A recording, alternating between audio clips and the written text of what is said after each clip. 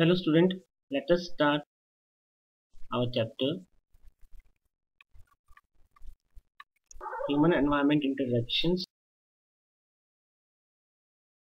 the tropical and the subtropical region. In the last part we done the tropical region where we take the example of Amazon basin and now in this second part we will do subtropical region where in the world we will take the example of Ganga Brahmaputra basin.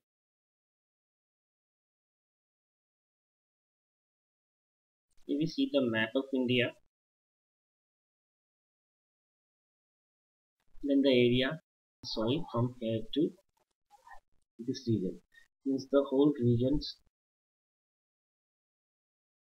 is to be known as the Ganga Brahmaputra region made by two rivers. One river start from here that is the Ganga river and its tributary rivers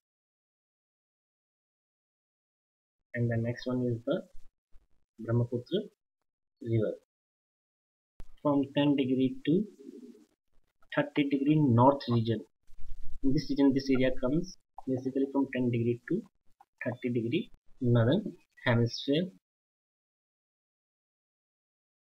when we come to the tributaries then we see these all are the tributaries of this river they are Ghagra this is the Ghagra Son Chambal Yamuna Gandak Kosi Tista, etc. are the tributary rivers of it. What is the importance of this region? If we come to the importance of this region, then this region is a highly populated region and the reason is fertile soil. These all rivers made world's most fertile plain here and that is why we found world's densest population in this region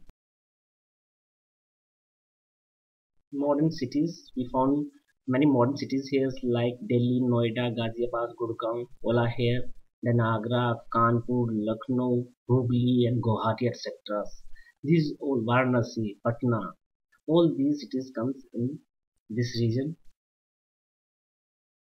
Too much rich in agriculture, all three types of like Kharif, Rabi and Jaid, all are these all pattern of crop are practiced by the farmers of these regions. Main main crops are wheat and rice are the main crops except this millets, sugarcane, vegetation. Thick bamboo, pine, deodar, fir, peepal, mango, etc. are the main main vegetations found in this region. We come to the animals then elephant. Deer monkey tigers elephants etc are commonly found in this region. So this is how we see the tropical regions of india. Too much in agriculture other thing any kind of problems and doubt you can comment to me or you can visit to my blog that is